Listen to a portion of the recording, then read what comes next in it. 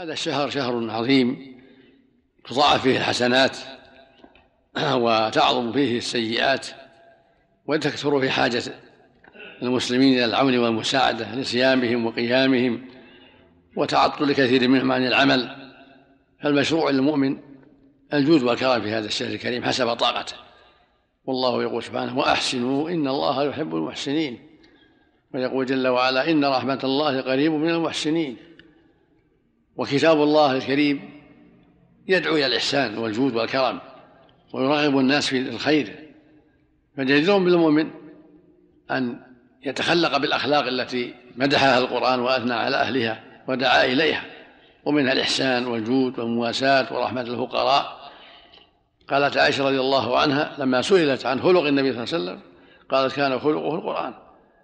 وذلك في قوله جل وعلا وإنك لعلى خلق عظيم. فكان خلقه الدعوة إلى الله وتوجيه الناس إلى الخير والنصيحة والأمر بالمعروف والنهي عن المنكر ورحمة الفقراء والمساكين والجود عليهم والإصلاح بين الناس إلى غير هذا من وجوه الخير. كل هذا من خلقه صلى الله عليه وسلم وكله مما جاء به القرآن. فينبغي المؤمن أن يتخلق بهذه الأخلاق التي جاء بها هذا الكتاب العظيم الذي هو أشرف كتاب وأصدق كتاب. وجاء بذلك أشرف نبي وأصدق نبي عليه الصلاة والسلام.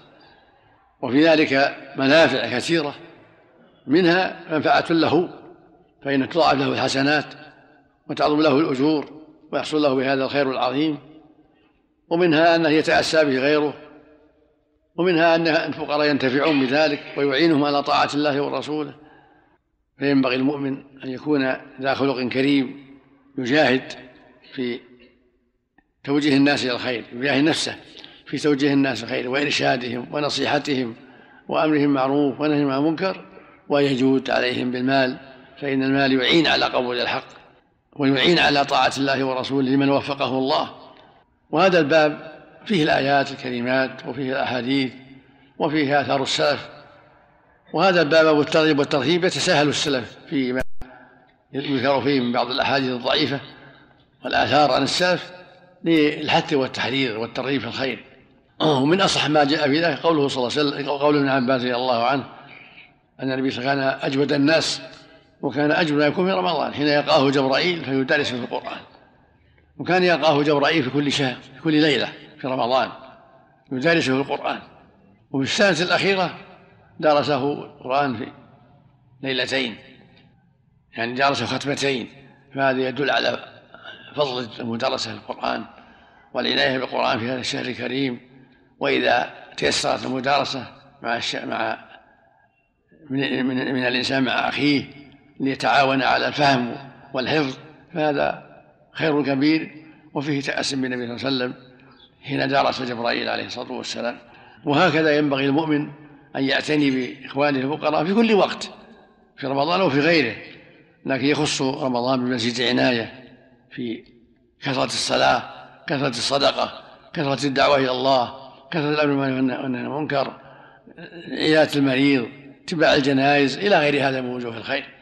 يرجو ثواب الله ويخشى عقاب الله. واغتناما لهذا الزمان الفاضل الذي تضاعف فيه الأعمال. وفي حديث الصديق الذي قال أنا يا رسول الله لما قال من صدق اليوم بصدقة قال الصديق أنا. من عاد مريض قال أنا. قال من تبع جنازة قال أنا. قال من أصبح قال قال ما اجتمعنا في مؤمن إلا دخل الجنة. فيه الحث على التطوع بالصيام وزيارة المرضى والعيادة واتباع الجنائز وكثرة الصوم مثل صوم الاثنين والخميس أو ثلاثة أيام من كل شهر أو الصيام يوم وفطر يوم الإنسان يجتهد في ما يستطيع من الخير ولو قل فإن الخير مطلوب ولو قل. ومن أعان المسلم على طاعة الله ورسوله فهو على خير عظيم. لأن الله يقول وتعاونوا على البر والتقوى. ويقول النبي صلى الله عليه وسلم من جهز غازيا فقد غزا ومن خلفه في أهله بخير فقد غزا. خرجه في الصحيح. وكذلك يقول, يقول جل وعلا وتعاونوا على البر والتقوى. ويقول العصر إن الإنسان في خسر إلا الذين آمنوا وعملوا الصالحات وتواصوا بالحق وتواصوا بالصبر. ويقول صلى الله عليه وسلم في الحديث الصحيح من كان في حاجة أخيه كان الله في حاجته. ويقول أيضا عليه الصلاة والسلام والله في عون ما كان في عون أخيه في عون أخيه. فهذه أوقات عظيمة كريمة ينبغي للمؤمن فيها أن ينافس وأن يساعد إخوانه المسلمين في طاعة الله ورسوله. ووجوه البر البر كثيرة فالصدقة من أبواب البر الدعوة إلى الله من أبواب البر الأمر بالمعروف والنهي عن المنكر من أبواب البر التسبيح والتهليل والتحميد والتكبير من أبواب البر كثرة الصلاة من أبواب البر كثرة الاستغفار والدعاء كل هذا من وجوه البر وأعمال الخير. نسأل الله للجميع التوفيق والإعانة على كل خير. ونسأل الله جل وعلا أن يصلح قلوبنا وأعمالنا وأن يمنحنا جميعا المسارعة إلى مراضيه والوقوف عند حدوده. صلى الله وسلم على نبينا محمد وعلى آله وصحبه.